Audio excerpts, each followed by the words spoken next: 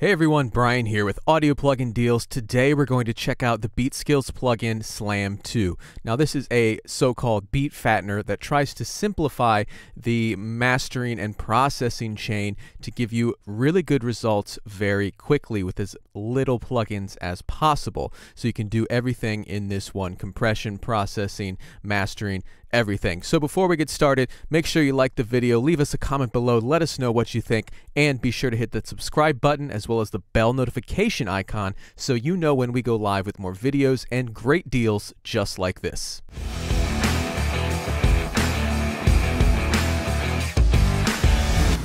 All right, everyone. So the installation and interface of BeatSlam is very straightforward. To install this, you're just going to download the file, put it into your VST plugin folder uh, uh, when you run the install, and then you're going to enter your license registration code. So it's all very simple. Now, as you can see, the interface is pretty simple as well. We have some different knobs here. Uh, some of them are self-explanatory. Uh, boom, thump, those are going to be for the low end. You have the input, the output here, uh, the wet and dry to adjust the signal here, as well as heat, air, so those seem to be the main two. Those are going to be good for mastering, as well as crush, pop, and then width over here, as well as a mid uh, mud cut here. So we're going to check out all of these different controls here and use it on a variety of different instruments. So I'm going to start off, I'm going to play this beat this is just kind of dry, no processing added. And then I've added slam on a lot of the different instruments here, as well as the mastering chain. You're going to hear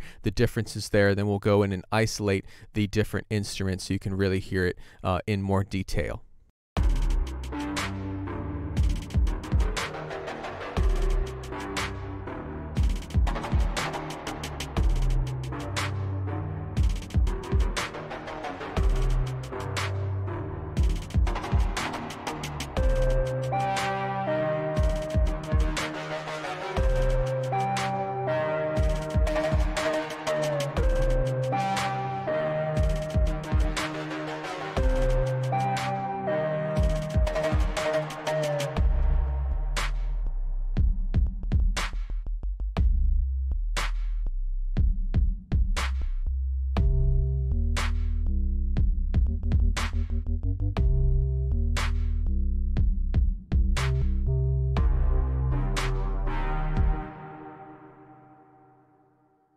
All right, so now that you have an idea of what the beat sounds like, we're going to turn on Slam. I'm going to turn everything on at once. Um, so it's going to add these different effects to not only the master, but the different individual instruments here. You can see the inserts there on the kick, snare, uh, the zebra bass, or excuse me, the zebra lead, and then the sine wave bass. So it's really going to bring out that bass as well. So let's check that out.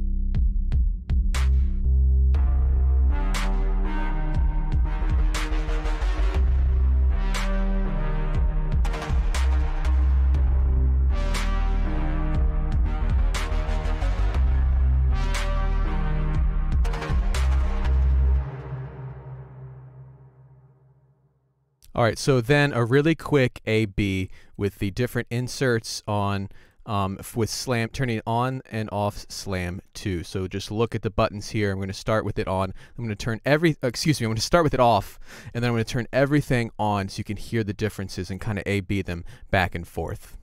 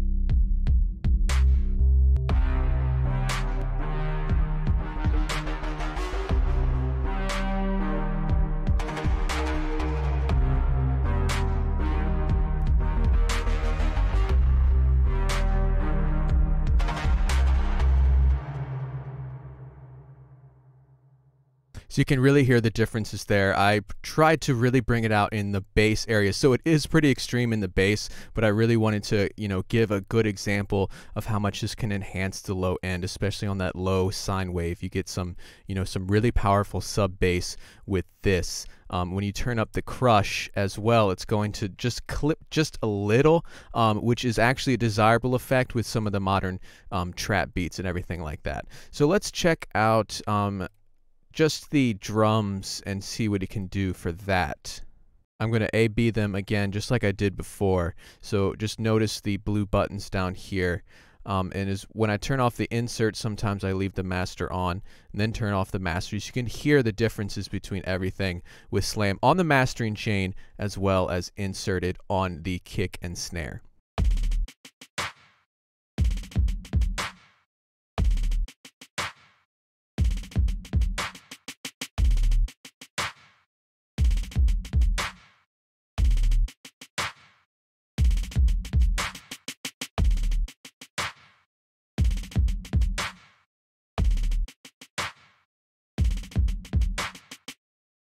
So that's a much more subtle comparison, um, but you can hear again, it brings out the thump, the low end in the kick, uh, brings the punch out in the snare, as well as um, really just kind of tying everything together nicely. So this is just a quick example of Beatskillz and what you can use it for. Um, I use presets pretty much across the board if you load these up.